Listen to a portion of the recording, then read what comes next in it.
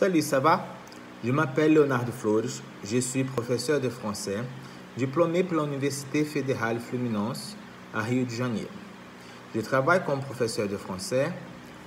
Ça fait 20 ans. Professeur de français qui donne des cours de langue française de tout niveau, grande expérience avec les étrangers. Les cours ont lieu soit chez moi, soit chez vous. Prix 30 francs par heure au minimum une fois par semaine avec une durée de deux heures par cours.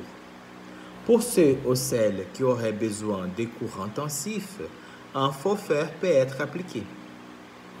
Grâce à mon expérience et à mes méthodes, je vous garantis d'atteindre rapidement vos objectifs. Mon appel 076 641 58 00.